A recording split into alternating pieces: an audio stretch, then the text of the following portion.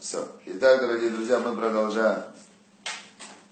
Мы продолжаем изучать Перкей Авод, поучение, учение отцов.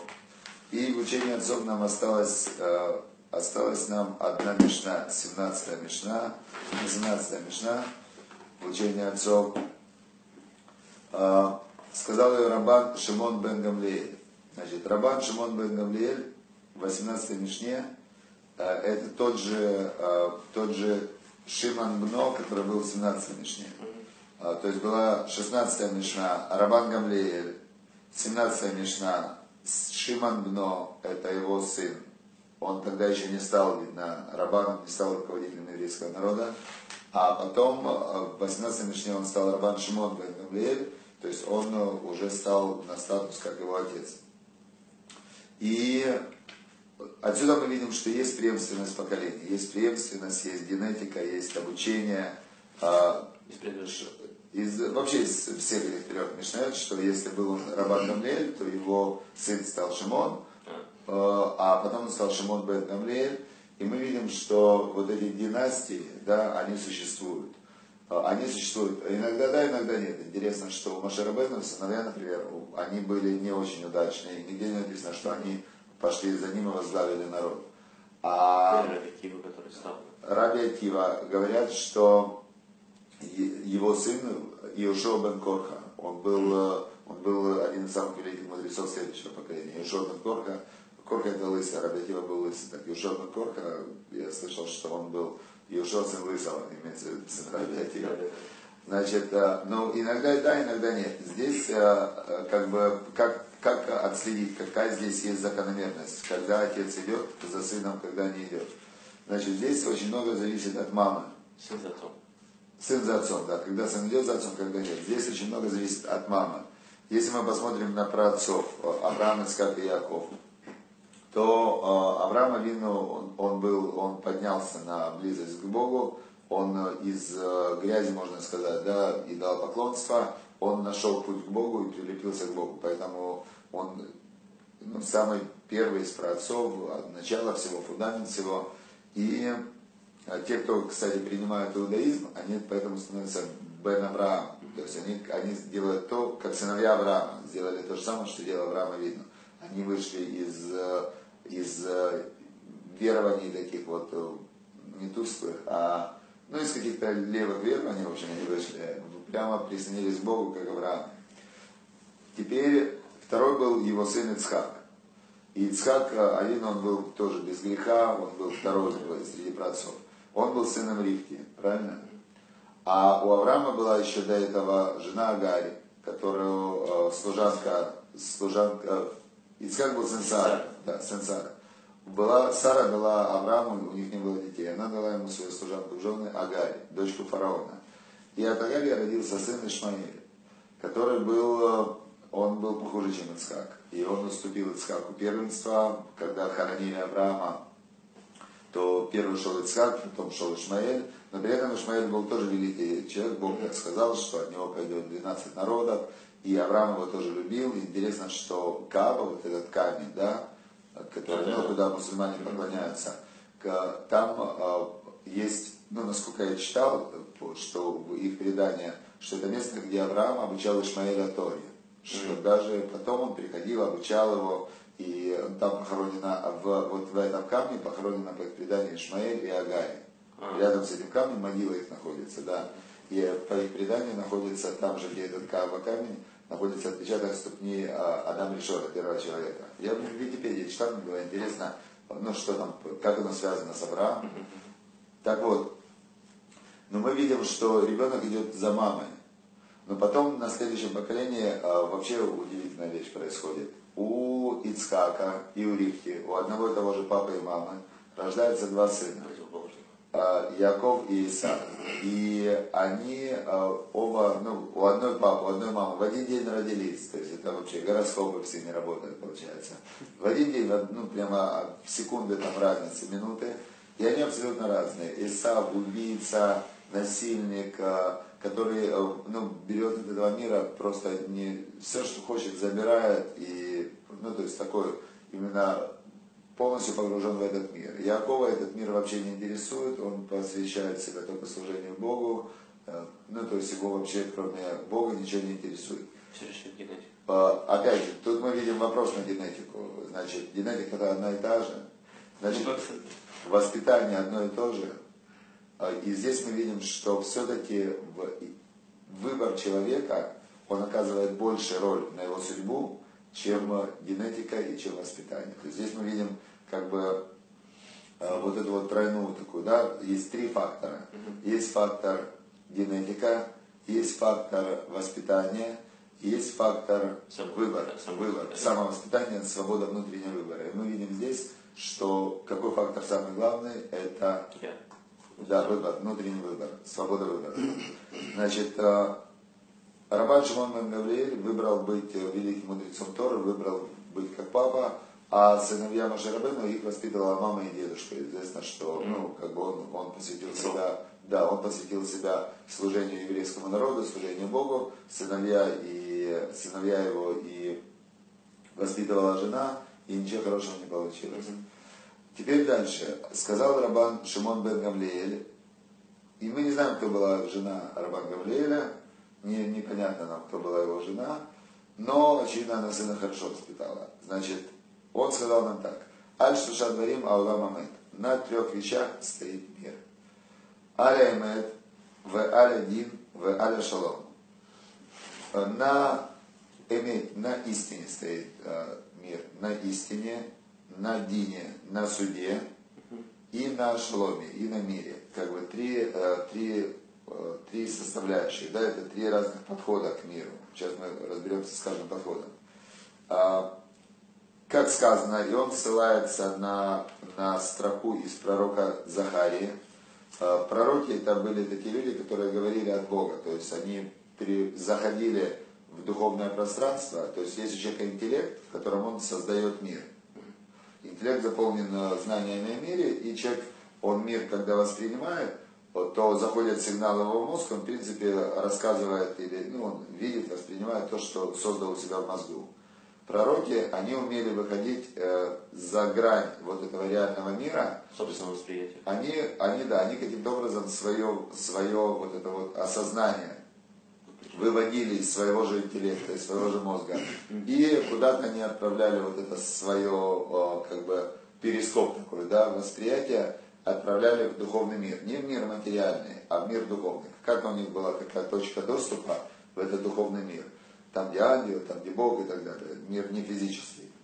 И дальше они из этого ми- мира не физического, они получали сигнал, но этот сигнал все равно проходил через их интеллект. Когда они выдавали этот сигнал, они все равно рассказывали своими словами. И единственный пророк, который э, просто передавал слово в слово то, что ему как бы был просто передатчик, это был Маша Рабейн, Моисей. Да, он был чистое стекло, то есть через него он просто принимал сигнал, Бог через него говорил. Он был просто рупором, как Бога, да. Так, как э, написано в наших книгах. Но Захария, пророк Захария, он, э, значит, когда сказал, Рабан Шимон бен сказал, на трех вещах стоит мир, на истине, на, на суде и на шаломе, он привел доказательства, как сказал пророк Захария, Эмет у Мишпат и Шалом, э, истина, Мишпат это один, суд, э, суд и Мишпат это одно, Дин и Мишпат это одно и то же. Истина, Мишпат, суд и Шалом, Шифту Башаракем, судите в своих воротах. Это Бог через пророка сказал еврейскому народу, сказал, что на этих трех вещах вы должны строить свою жизнь. И здесь мы понимаем, а, отсюда мы понимаем разницу между этой Мишной и Мишной, которую сказал Шимон Цадик. В этой главе была в- вторая Мишна, да, что он сказал так, что мир стоит на трех вещах. На Торе, на служении и на добрых делах. А здесь написано, мир стоит на истине, на суде и на мире. Так как, секундочку, как это стоит? Это разные вещи. Получается, на шести вещах стоит мир. Так нет, и тот прав, и тот прав. А, Рав, а, Шимон Ацадик, он имел в виду, ради трех вещей этих мир был создан. И пока есть эти три вещи, у мира есть а, заслуга, ради чего он существует. То есть Бог создал мир ради Торы, чтобы, чтобы люди через Тору могли э, познавать мир и коммуницировать. То есть Тора это, это учение, это свойство, как сказать, вот мир, да, он, э, есть неживая природа, есть, э, есть живая природа, травка, деревья, да, есть животные, там что-то бегают, они, ну, в общем, по своим делам. И этот мир, он, это как механика такая. И есть только человек, который познает, исследует, творит, создает и так далее. Вот этот интерфейс, mm-hmm. который, а, который делает человека человеком, это называется Тора. То есть mm-hmm. Тора это, это, как сказать, программное обеспечение интеллектуального, а, интеллектуального восприятия и управления миром. Mm-hmm. Теперь в чистом виде а, Тора это ну, достаточно такие, это язык, например, да, человек это говорящий, то есть Тора это язык. Тора это, это возможность разговаривать с собой, с Богом там, и так далее. Это все Тора. И э, Бог создал мир ради Торы, ради того, чтобы люди через Тору могли постигать Бога, ради служения, чтобы люди могли через э, служение, это направление их сердца. Что такое служение? Это когда, ну вот молитва это служение, да, когда ты направляешь свое намерение к Богу и благодаришь его и просишь. Это служение. И э, ради добрых дел, то есть Бог же, он, он, ему ничего не надо. Он создал мир, он хотел давать. Он просто хотел, чтобы всем было хорошо. И когда человек, он а, принимает вот эту вот концепцию, он божественный человек, он хочет тоже, чтобы всем было хорошо. Он хочет, чтобы было вокруг добро, добро милут касадим. Он воздает людям добро, он всем делает хорошо. Ну, то есть, Бог говорит, вот я ради этого создал мир, чтобы люди постигали, чтобы люди благодарили и молились мне, потому что я создатель мира. Не то, чтобы мне это надо, но это правильно. Да. То есть Бог, э, Он и без этого спокойно существовал. Но Он говорит, правильно, мир создают для вот такой вот концепции. Чтобы люди между собой жили хорошо, добрые люди. Отлично. Теперь, но люди, а, и Бог же через Тору, он, он передал свой инструмент, которым он сотворял мир. Он как бы человеку говорит, ну давай, теперь ты как я. То есть mm-hmm. это человек по образу и подобию Бога. Теперь он ему говорит, давай, вот мир твой, твори. И человек начинает, э, там, они начинают, да, я сейчас у тебя заберу, а я сейчас это. То есть до потопа да. люди, они вместо того, чтобы ради того, из-за чего мир был создан, это делать, они, значит, э, ну, Тору они оставили, то есть Тора это система управления миром. А вот служение Богу они сказали, до свидания, зачем ты нам нужен? Мир мой, сказали первые люди, «А мы здесь полностью отлично без тебя справляемся то есть ты нам дал мир, значит все, никакой благодарности. А когда нет благодарности к Богу, конечно, нет благодарности друг другу. И они начали с друг другом воевать, животные изменять, то есть они начали с миром делать все, что хочешь. Бог говорит, секундочку, я не для этого создал мир. И стер это программное обеспечение, а потом это как стирание программы. Я помню, когда я проводил урок э, для студентов, и только вот был, э, ну, в самом начале, когда я приехал в Киев, и я, когда рассказывал эту историю, один такой сидел парень, он хорошо понимал в компьютерах, телефоном, он говорит, я понял, говорит, это называется перепрошивать софтину. Да. Перепрошить софтину. Когда софт не работает, он говорит, надо перепрошить. И Бог перепрошил софтину. Да. И, значит, э, он создал опять по-новому все. А, значит, после потопа люди, э, они поняли, что с Богом шутить не надо, и они э, решили, э, так как они знали, как этот софт работает, они решили э, перепрошить софтину сами. И они, знаешь, эти хакеры грабители, и они решили своими там намерениями, то есть как бы человек это отражение Бога. Был вначале один человек, Адам решен, а потом их стало много. И когда они много, они решили опять вместе собраться, как один человек, как одно сердце, это когда они строили Вавилонскую башню. И когда они собрались как один человек, как одно сердце, они думали, что они стали равны Богу. И они хотели для Бога закрыть вход в этот мир, чтобы он больше не мог перепрошиться активно, сделать пароль, чтобы он больше не мог зайти в этот мир. Они думают, мы дальше будем сами жить. Но Бог, Он же хозяин мира. И Он, э, он изменил у них языки. Они перестали, они не могли объединиться. А когда люди не могут объединиться, то они каждый в разные стороны думают, и у них силы совместной нет. И после Вавилонской башни уже пошли разные народы, и путь к спасению, но Бог добрый, он все равно хотел, чтобы хоть кто-то к нему вернулся. И были всегда единицы, которые выбирали на трех вещах стоит мир, на Торе, на служении и на добрых делах. Потом Бог среди этих единиц выбрал Авраама, Ицхака и Якова, и от них пошел еврейский народ, народ священников. Он говорит, вы должны выполнить все, что я задумал для мира, вы обязаны выполнить. И он дал Тору им, дал точно уже все, как прямо прописано, все конкретно, что делать, как делать, только вот конкретно идите по плану, то есть чтобы уже не было вариантов. И он, да, мало этого, он поставил границу. Он говорит, если вы будете идти не по плану, вам капец. То есть я как бы, уже вариантов нет. Я, игра должна быть закончена. Все, значит. И дал Тору, вывел из Египта, сделал чудеса, все было великолепно. И завел в Израиль. И тут, значит, э, уже это было Роман Шимон Бен Гамлель, жил в конце второго храма. И они опять там, ну, то есть не очень вылазили за рамки. И тогда он э, сказал, говорит, послушайте, мир может существовать и управляться только тремя вещами. Эмет, эмет это истина, это Тора. Эмет это, э, то есть истинный взгляд на ситуацию, это эмет. Истина. На истине, то есть ты должен в любом вещи стремиться к истине. Дин это суд. И нужно, э, сказал Бог евреям, что вы должны идти по Торе. То есть дин это суд, это если что-то делается неправильно, вы должны а, это пресекать. И на шаломе мир, то есть, но при этом а, нужно быть милосердными. Шалом это мир, а, и нужно, где надо уметь прощать, где надо наказывать, но всегда стремиться к истине. Только в этом случае вы сможете удержать мир. Но э, Рабан, голос Рабан Шимона бен Гамлиэля к еврейскому народу, он был ну, глава поколения, он был великий мудрец, остался как вопиющий, глаз вопиющего в пустыне.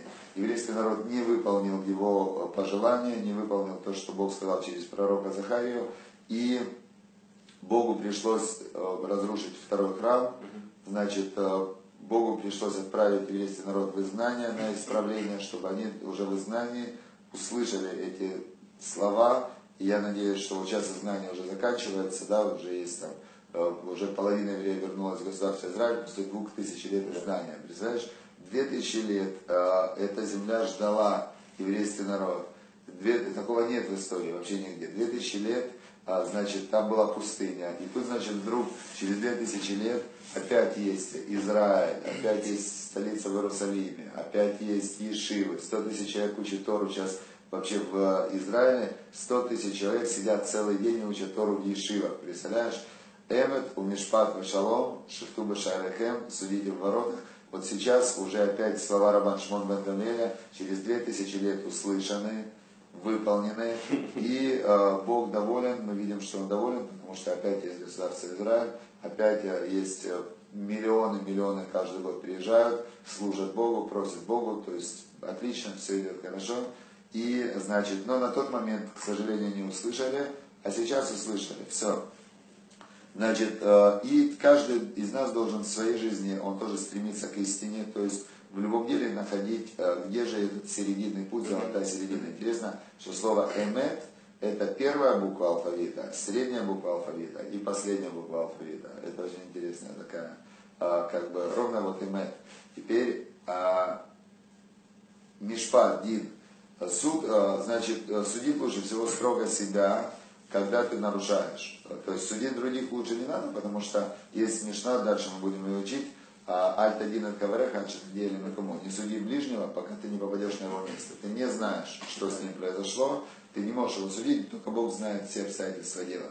Поэтому судить, если ты хочешь, лучше суди себя. Себя ты знаешь все свои побуждения, и нужно быть строгим к себе и мягким к другим. А большинство людей, наоборот, мягкие к себе и строгие к другим. Но, опять же, только что я высказал суждение о других, а я не знаю большинство, не большинство, поэтому я знаю, что лично мне нужно эмет, дин и шалом, и все будет хорошо. Все, значит, удачи, успехов, хорошего, прекрасного дня. Все, пока.